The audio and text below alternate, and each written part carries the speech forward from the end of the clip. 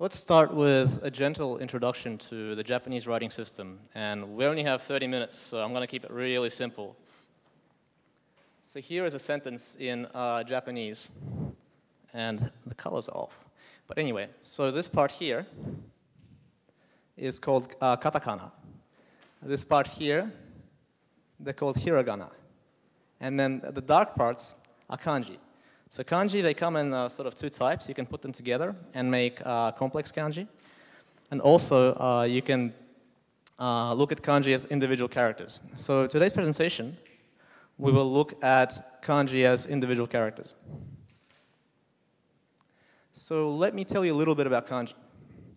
It's an ancient uh, logographic writing system that originally comes from China. It's thousands of years old you can look at one kanji as uh, being a word or concept, but you can also put them together to make new words. So for example, this kanji here means stop, and this kanji means electricity. And if you put them together, that means a blackout, so when a city has no electricity. But if you put them together in another order, it becomes a tram stop. So it makes sense, right? Uh, there's a thousand kanji that kids learn in, uh, in primary school, and they learn another thousand in in high school. So by the time they finish school, they know 2,000, and that's still not enough to read a newspaper. Kanji is hard. So it's hard to recognize, it's hard to read, hard to pronounce, and also hard to write. And there are many reasons. For this presentation, we'll focus on just one thing. How do you recognize kanji? And I'll save the rest for maybe some other time. So here are some simple examples. The seven kanji you see on the slide now, they correspond to natural elements. So you have the moon, fire, water, tree, gold, earth, and the sun. That also happens to be um, the Japanese characters for uh, weekdays. So if you look at a Japanese calendar, you see these uh, seven guys there. Now, the cool thing with kanji is you often take simple kanji, combine them, to make more complex kanji. And this kind of makes kanji like a little bit of a puzzle, which you have to solve, which makes it fun to work with. So for example, you take two moons, you get this, you, take, you add a tree, you get that, take two trees, you get this, and so on. Another cool thing about kanji is it was originally written with a brush. So it helps knowing how many times you have to touch the paper, uh, brush to the paper to draw the kanji, and that's known as a stroke count.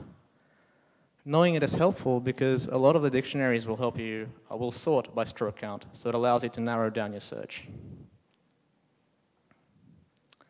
And obviously, the more uh, strokes there are in a kanji, the, the, the harder it is to write, the more complex it is.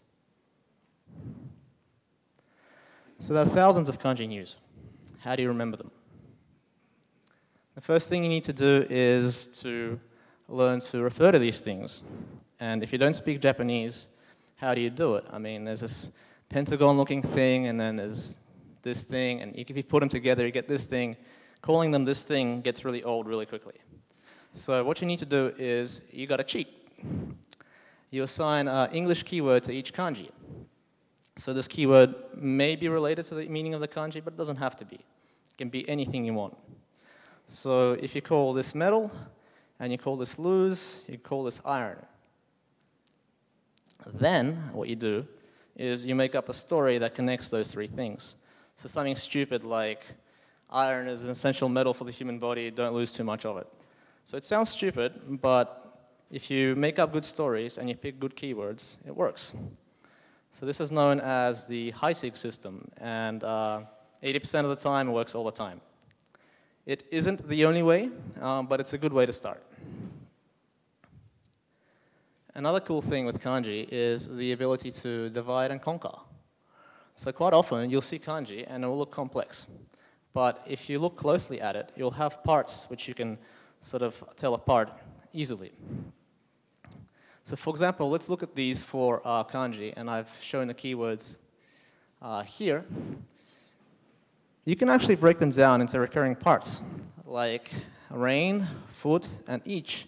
And these three parts, if you put them together, you get dew. So the stuff that's on the grass in the morning when you, when you go out really early. If you look at the other kanji, uh, you'll see other elements like a mouth and a broom and a rice field. So these things, they're called uh, different things depending on who you talk to. In Japanese, the name is bushu.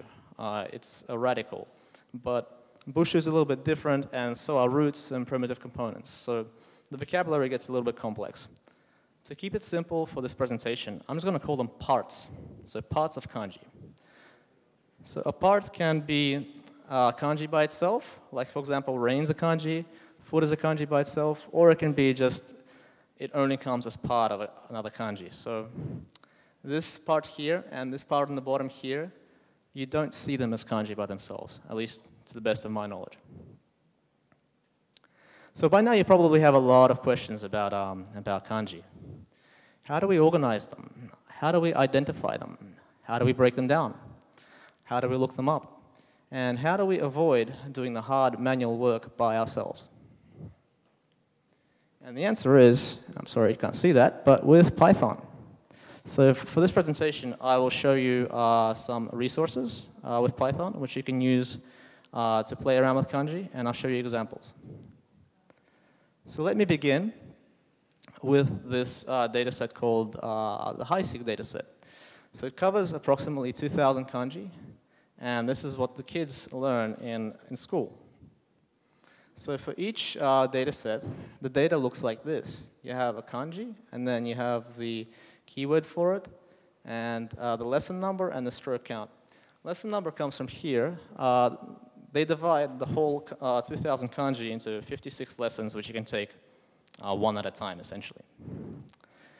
So uh, we can now refer to 2,000 kanji using an unambiguous English keyword.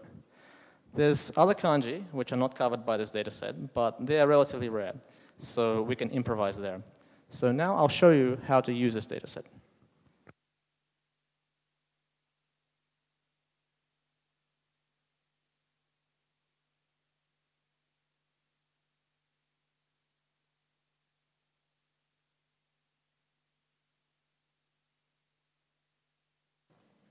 Okay, that's much better. So here we have the uh, Heisig dataset. Uh, parsing it is relatively straightforward. It's just a couple of lines of Python. And then once you parse it, you get the data that I showed you on the slide. And you can use it to, for example, give um, give a kanji and get back the keyword for that kanji. So here we have iron, gold, and lose. I call this metal, but yeah, you can call it whatever you want. It doesn't really matter. So another cool thing you can do is you can look at the kanji by the stroke count. So here's a list of kanji that have 13 strokes.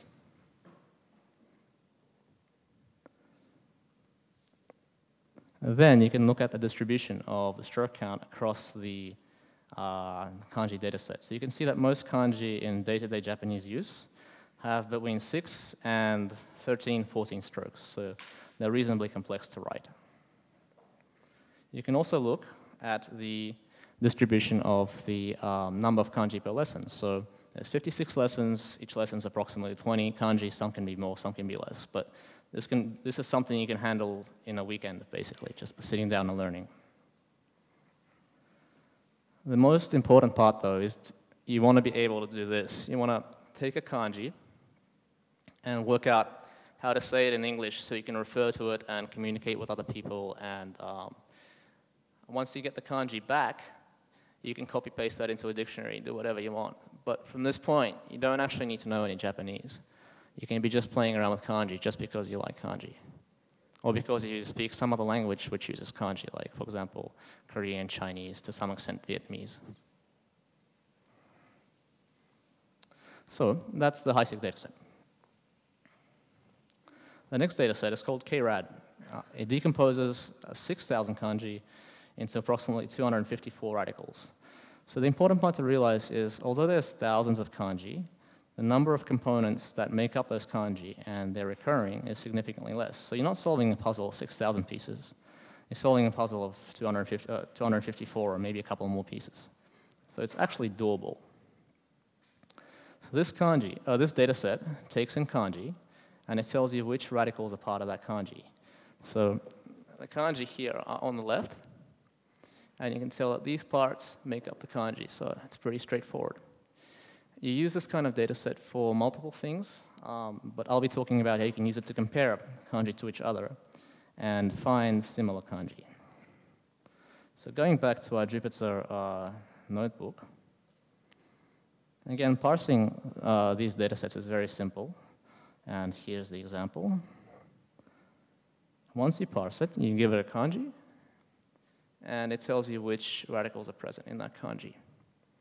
So using this data set, when you have two kanji, if you want to compare them, you break them down into radicals, so you get two lists, and then you just look at the intersection of those lists. If the intersection is large, then there are many uh, shared radicals, so the kanji will be similar. And if there's no intersection, then they're completely different. So that's also quite trivial once you have the data. You can also look at what the most common radicals are, and you can see them on the screen. So the mouth is by far the most radical, uh, the most common radical, followed by all these strokes, which you can't really call them anything. But then, the cool thing is you can do the same thing you did with stroke counts and look at the distribution of radical count across the kanji dataset. So here you can see that in the 6,000 kanji dataset, most kanji have over three radicals. So again, reasonably complex, but as long as you know what the radicals are, it's, it's okay. So here is how you measure similarity between two kanji. You break them down into radicals, and then you look at the intersection of the set.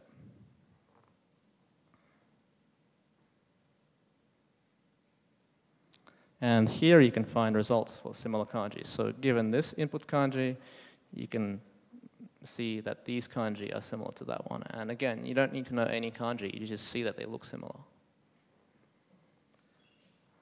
So the confusing thing with KRAD is it doesn't look at the position of each radical within the kanji. So what can happen is you'll, you have collections of radicals uh, that look like this. So given the sun and the tree, Japanese actually has these kanji.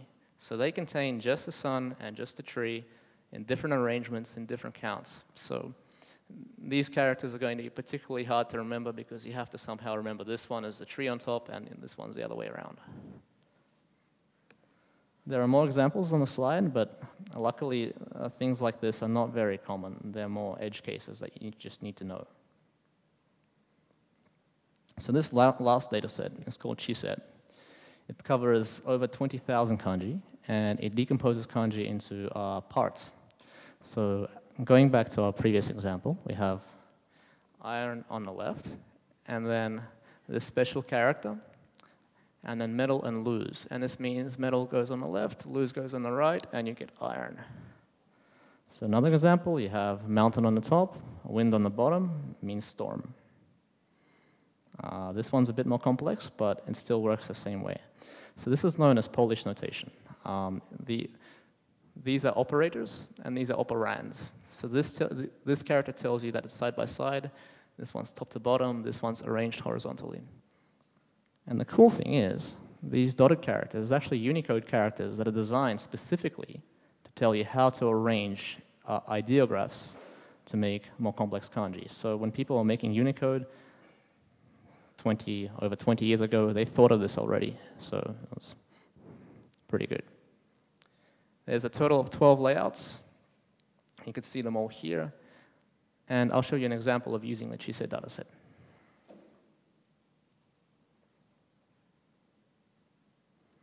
So again, parsing it is uh, straightforward with, with Python. It's reasonably expressive. And once you get there, you can give it a dict uh, sorry, kanji, and it will give you back the, uh, the parts that are in the kanji. And that's very convenient. And you get that for over 20,000 kanji. So this includes the day-to-day -day kanji and kanji you would probably never see in normal day-to-day -day activity. So because I like histograms, here's the most common uh, layouts in Japanese kanji. And you can see that the left-right layout is by far the most common in this sort of esoteric 20,000 kanji dataset. If you look at the uh, more common kanji, then left to right is still the most common, but it, the margin decreases to about half. But the most useful part is you can break uh, kanji down into uh, these parts. If you have a complex kanji, you can tell exactly which parts are in it, and you can then search for them.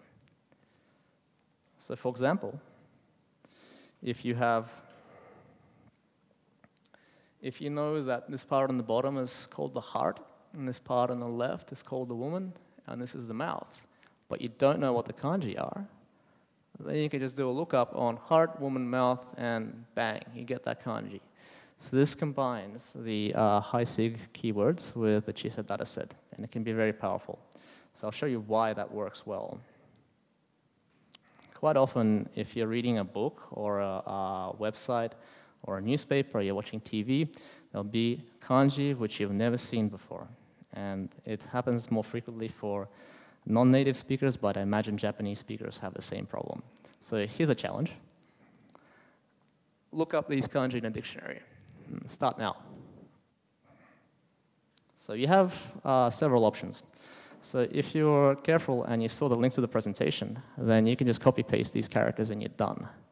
But what if you can't copy paste? All right, well, uh, you know how to pronounce these things, so you can enter them using the IME into a dictionary and then look them up. Okay, but what if you don't know how to pronounce them? It, it gets tricky. You have to look at the main radical in the kanji and then use that to do a dictionary lookup. Now, the main radical isn't always obvious, so this is a bit tricky and involves trial and error.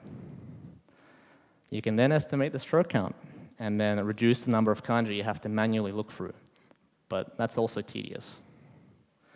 If you have a dictionary with handwriting recognition and you know how to write kanji, you can write it into the dictionary, but what if you don't know how to write it? Then you're kind of out of luck. You either have to ask someone or you have to give up. But with Python, you get more options. So if you recognize any of the radicals, then you can look them up by CHISE or KRAD. So here's an example. So here's the kanji from the slides uh, on the top. And again, if you know that these parts here, that's an ear. And if you know that that's a page, then, and you can input them into your uh, search, then you can look them up easy.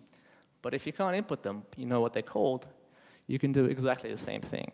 So you can repeat this approach with all the other kanji that you see as long as you recognize the parts of the kanji, and the more parts you recognize, the more um, fruitful your search will be, the more exact the results will be. So for example,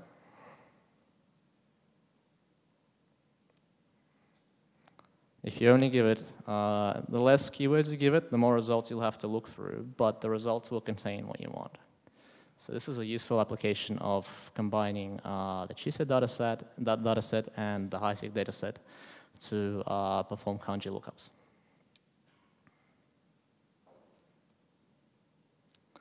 So I'm going to stop talking about kanji for a little while, and let's talk about graphs. If you haven't seen graphs before, then don't worry. I'll, it'll be a gentle introduction, and then at the end, I'll show you how we can um, tie graphs back to kanji. So this is an unlabeled graph. These round things, they're called nodes. Um, sometimes they're called vertices or points, but that doesn't matter. And the lines that connect them, they're called um, arcs or edges. So this graph has um, 26 nodes and uh, 17 edges. And it's called unlabeled because you, well, it doesn't have any labels. You don't know which, uh, what each data point corresponds to. So one thing you could see from this graph is some nodes are connected. There's all these nodes are connected together, and then these nodes are connected, and so are these guys, but then you have these singletons here. So what you can automatically do with uh, graph analysis libraries like NetworkX, you can do a connected component analysis. and that will automatically tell you uh, how many connected components your graph has. So in this case, we have nine, and each one is in a separate color.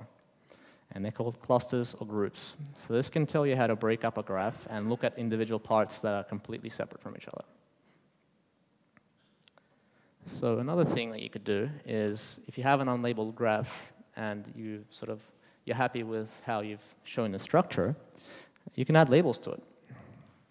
So here, each uh, node corresponds to a kanji, and edges co connect kanji that are related. So for example, the stop, and you have keywords here. Um, the stop kanji is related to walk because uh, walk includes stop, so it stops there at the top. And so does Ford. so you can see stop there at the top. So visualizing this uh, kanji as a graph can be helpful because it shows you what's related visually. One other thing that I'd like to show about graphs is sometimes they get really complicated um, and hard to visualize because there's a lot of data points and a lot of relationships. Uh, what you have to do in that case is, uh, well, one of the things you could do is uh, take a subgraph. So that just means you remove some nodes and some edges from your graph. So here's a subgraph of 16 nodes. Uh, it helps you simplify uh, complex graphs. So you go from uh, 26 nodes to 16 nodes. So it's, it's a visualization tool. So let's look at how you can put graphs and kanji together.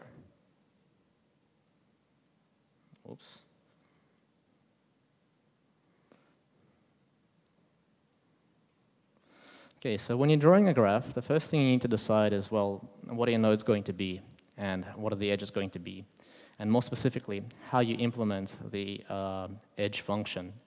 So the edge function basically takes two nodes uh, and tells you whether or not they should be connected by an edge. So in our case, we're going to be using the CHISE dataset using this simple uh, function. So the output at the bottom shows you if you have these two edges, these two nodes, they should have an edge, and so should these two and these two. But these two shouldn't because these kanji are not related. They're not, this one doesn't contain this one, and the same thing the other way around. So that makes sense, right? And then you can construct a graph. And when you construct a graph, you pretty much compare the nodes to each other, determine if they need to be connected by edges. And then you can get a graph. Unfortunately, if you try and plot all the kanji on a single graph, you get this. It's a giant ball of mud. It's useless. And the reason why this is so is because kanji are closely related. So each kanji is related to some other kanji through some other kanji. It's like six degrees of Kevin Bacon, but with kanji. So if you want to visualize a kanji, in this case, you have to take subgraphs, like I showed you before. So you have several options. Um, I'm going to show you subgraphing by Heisig lessons. So if you remember, the Heisig dataset divides all the kanji up into lessons of about 20 or more kanji. So we're just going to look at one of those lessons.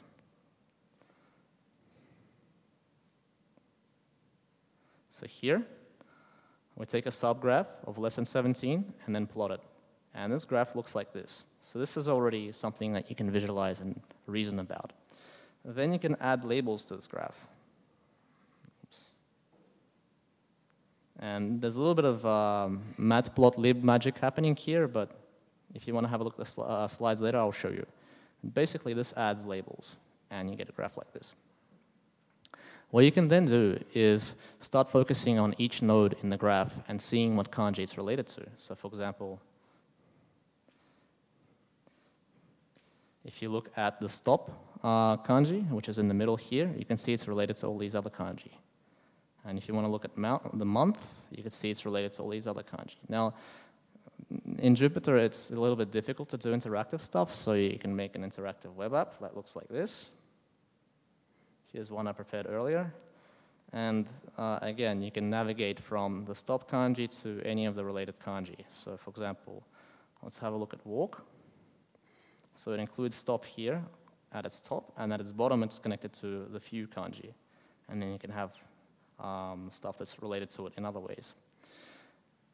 Quite often you'll get to um, components that look like this. They're connected to many nodes. And this is because this is a common uh, part It's like it's uh, what's referred to as a radical. Here's an example of another uh, radical. So lots of kanji, right? So we can zoom out. Yeah, there's a lot of them there. But this sort of visualization helps you see the relationships between kanji. And when you're studying them together, it becomes possible to reinforce um, related uh, kanji through its sort of neighbors. It can also sort of tell you how to uh, focus on uh, individual groups of kanji. So if we go back to lesson 17 of Heisig, the previous example, if you visually do a uh, connected component analysis, you can see, well, I can study these kanji together, and I can study these ones together, and so on. So it's a useful uh, tool.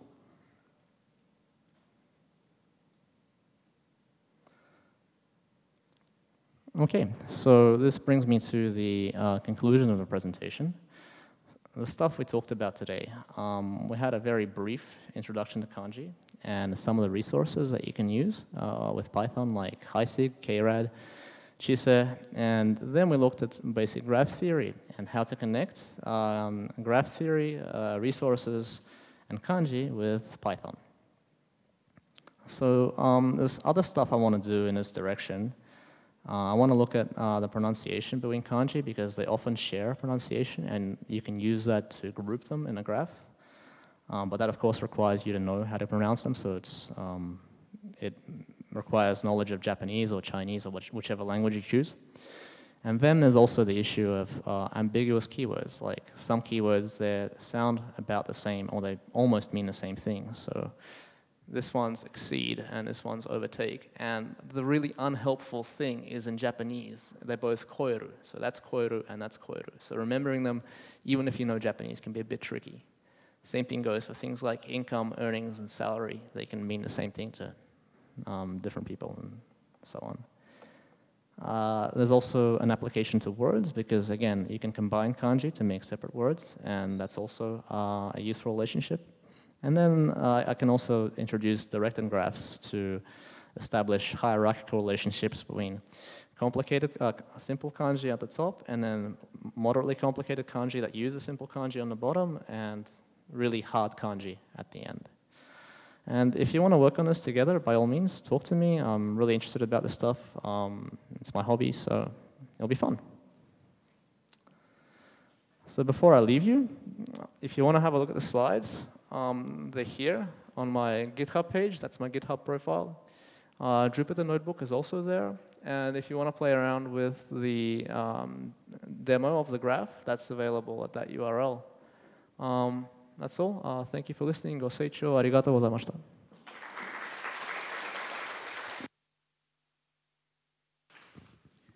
Okay. Uh, thank, you, thank you, Mihail. Uh, do you have a question and comment? Okay.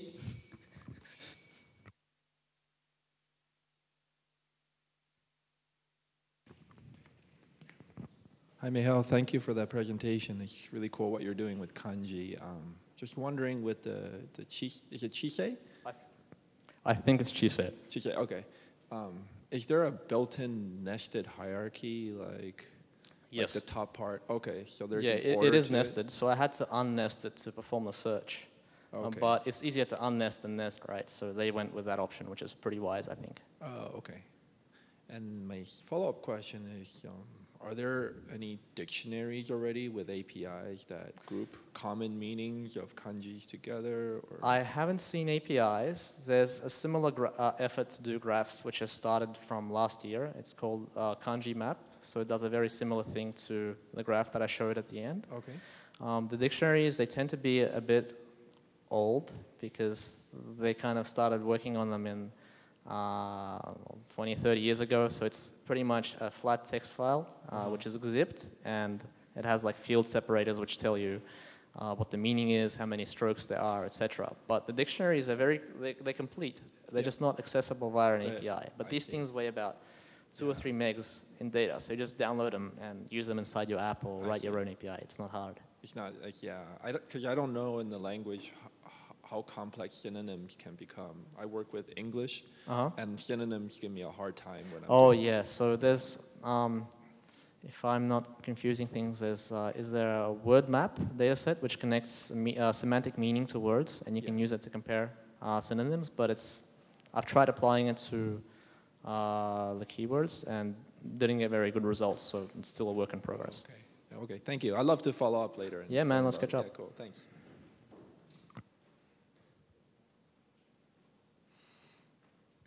Okay, uh, last one, one question. Uh, do you have uh, any question and comment? Okay. Okay, thank you very much, Mihail